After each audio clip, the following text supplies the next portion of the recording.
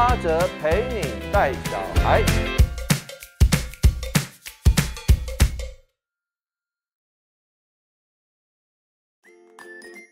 小朋友，大家好，我是袋鼠妈妈碧华阿姨。我今天要为你们介绍的是《我家在下营》，作者是李易芳，图是江冰如。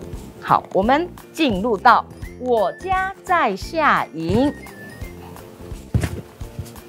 好，《我家在下营》呢，其实它是讲一个宗教信仰的中心哈。那我们来看一下。夏营的宗教信仰在哪里呢？农历三月三日是我们夏营的三月节。诶，为什么叫做三月节呢？因为夏营在三月的时候呢，会是上帝宫的一个庆典。那这一天，不管家里的爸爸、阿公、叔叔、阿公、伯公，大家都会集合在这个庆典的地方集合。那要做什么呢？当然是为了我们上帝宫的一些庆典做准备。好，小孩子那又要忙什么？小孩子就会集合在这个上帝宫的地方，然后呢，等着有专业的人为我们介绍下营人该懂的事情。哎，当然啦，我们是下营人，当然要知道下营人不可不知的下营事。那我们就要来看看，哎，你有看到吧？这个就是上帝宫的庙，就是玄天上帝的庙。那为什么叫做上帝宫呢？其实这个玄天上帝呢，是呃在清朝的时候呢，大概有三百多年了哈，在下营这个地方有三百多年。那大部分的这里的居民都称大庙，那指的就是熊背牙宫。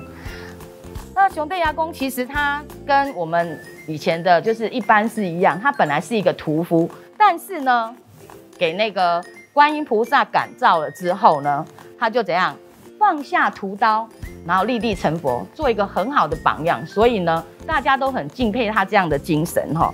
那在下营的人把这个上帝上帝宫呢当做一个宗教的信仰。上帝庙的前面就是一个武承恩公园，这个是老老少少都会想去的一个公园哈。那里面呢建造了很多的凉亭啊，还有一些呃桥啊，还有是喷泉。重点是这个武承恩公园里面，它有一个这个很大的一个池塘，里面养了很多的鱼跟乌龟。其实它这乌龟呢，更好玩的是。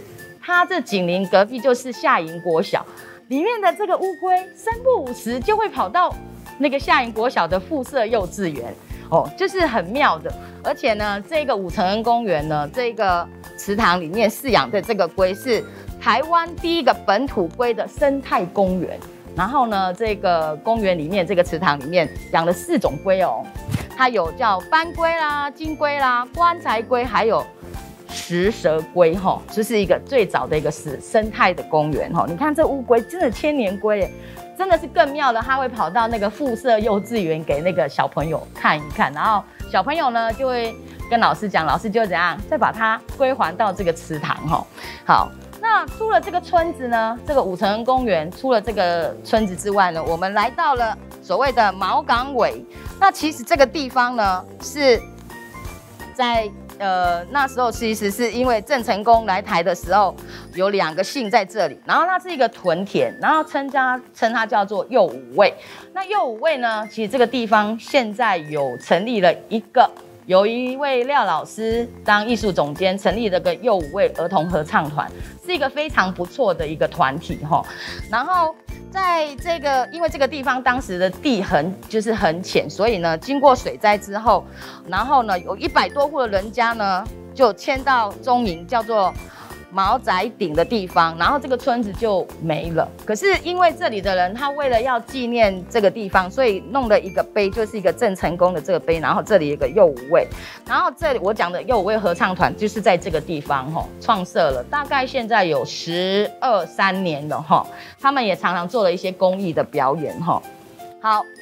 再来呢，右卫的居民因为迁到中营，我说刚刚讲那个中营的地方灭了嘛，哈，他们就迁到中营。那中营呢有一个宫叫做武安宫，然后里面呢有一个就是珍藏了很很就是很珍贵的一个五子棋。来，你们听说五子棋？哎，五指你们看到跟我们的手指一样？你看大拇指、食指、中指、无名指、小拇指，哎，所以呢，它就是一个古石器哈，是一个宝贝哦哈，就叫五子棋哈，就在这个武安宫被珍藏着哈，这是在中营的地方。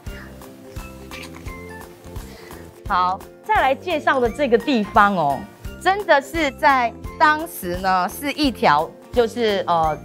生意人必经的一条那个呃街道哈，那时候这个是大概只有一公里有一公里有多少？一千公尺而已。所以你想这么短的一个地方，可以让在这里做生意的商船呐吼商人在这里怎样做生意，然后很热闹。你们可以看到这里有商船，然后呢，你看这么多人，然后在这里做生意。然后这个大概三百年前，这个地方哈，在毛港尾呢，它是一个岛风内海繁荣的大港。我刚刚讲了，生意兴隆，很多商人都在这里哈。然后呢，商船呢来来往往，非常热闹。它有一个名词，就像我们现在的怎么可能就是到了过了半夜，还有人清晨在。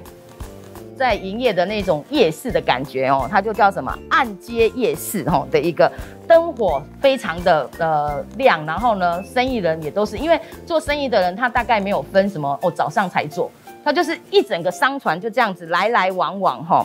当时是这么热闹，可是现在呢，在这个很临近的那个碎石子路上，如果可以再回到当时。那是多热闹吼！你看看，当时三百年前就这么热闹，可是因为现在它的一个环境改变了吼。好，那当然那个地方还有一个呃可以来介绍的，就是站在这个桥头上面，可以看到这些都是当时的居民怎样一粒一瓦，然后呢担着这些石子，然后把它建造起来的吼。所以呢，其实在这个地方，居民呢在这个，因为他们这里会淹水哦，所以他们就怎样，就是这样子。团结合作，然后盖建盖了一座桥，让这边怎样不会再淹水哈，然后也不会因为这样子，然后水换来了，大家就没有地方逃了哈。所以他们当时的人民是很团结的哈。这个是在中营的地方。好，我们介绍那么多的那个建筑，现在来看看到底下营有什么的农产品哈。哇，好多的桑葚呢。我想你们应该有吃过桑葚，就是黑黑的，然后呢长长的，有点酸酸甜甜的哈，然后呢有点像毛毛虫，哎，毛毛虫。你看啊，这个桑葚它的果子是可以吃，它的叶子就是一种动物，一种那种昆虫的食物，就是蚕宝宝。哎，这里可以看一下，你看这个蚕宝宝，哦，这是桑叶，就是它的食物哈。好，它有桑叶，还有呢养蚕。这个蚕宝宝吐丝出来的可以做成蚕丝被，吼，这是在下营的地方的一个主要的呃农产品，吼。好，他说其实这个桑葚刚刚讲的可以做什么？可以生吃，也可以做果酱，还可以打果汁哦，吼，真是不少，吼，它的用途真不少。这是下营农会的拉这个蚕丝被的一个呃动作，吼，在这里哈，我看到好多蚕宝宝哦，好。好，这个就是夏营的特产哈。那呢，哦，夏营还有一个特产，咯咯咯咯咯咯咯咯咯咯啊！路旁的那个绿坡上有一大群雪白的这个鹅啊哈。其实这个夏营呢，当时养鹅是很兴盛的哈。然后因为夏营的鹅呢，这个事业也很迅速的，因为养鹅，然后场地的关系，然后养的鹅肉是非常的甜美哦，所以当时呢。就是呃有鹅肉的专业区，然后呢还会因为这样子农农会它推广了一个叫做鹅肉节哈，然后呢就有很多的观光客来品尝哈，当然这也是推广夏营的一个特产之一哈。好，你看这一些鹅都是当时养的很棒，然后呢那个肉质很甜美，所以夏营有那个叫做鹅肉，我我相信应该有很多人会听过哈。好，这是我们的另外一个特产哦。那还有呢，在下营也有一个地方可以，呃，就是看一下这个水质哈。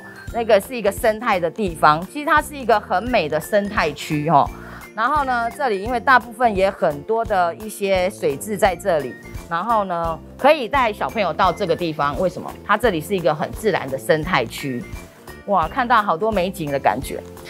好，在这个贺建村呢，有一个呃郭家石碑，他是一个呃举人哈。然后呢，他当然当时是对书啊的这个研究很好，所以当时他就是考上了举人这样，所以做了一个碑哈，帮他做纪念。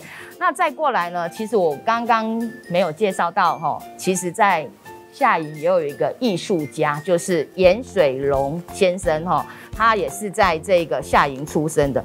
他的呃有一个盐水龙的一个故居哈，那里头有盐水龙先生的一些呃画像哦，然后还有他一些雕刻，真是栩栩如生哦。其实他的故居是保持的很好，因为有严家的人专门在负责维修，然后然后等等的。这个是盐水龙先生的一个红毛错的一个故居在这里哈。